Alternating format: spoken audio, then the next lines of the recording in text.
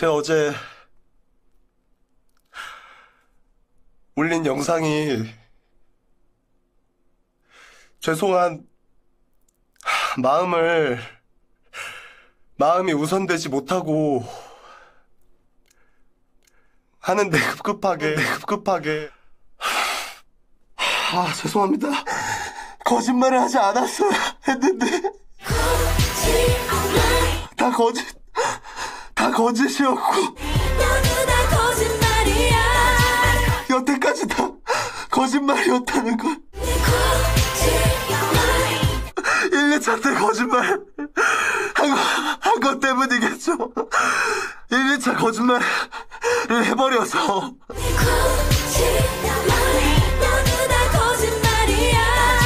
안 한 걸 안 했다고 얘기해도 소용이 없을 것도 알고 한 걸 죄송했다고 얘기해도 죄송하다고 얘기해도 저 때문에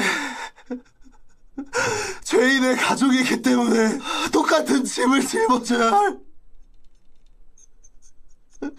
제 동생에게도 제가 거짓말이 거짓말쟁이가 아닌 게 되는 건 아니기 때문에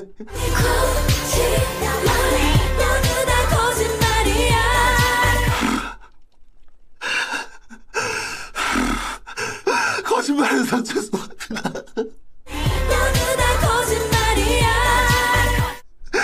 진짜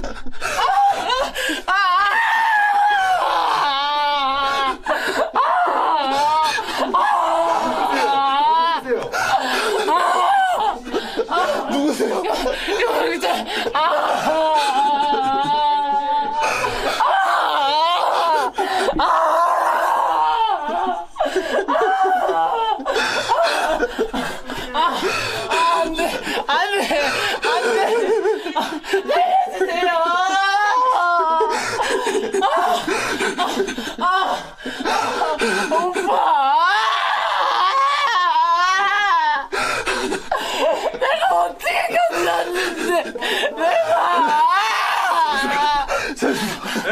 꺼주세요, 꺼주세요. 죄송합니다.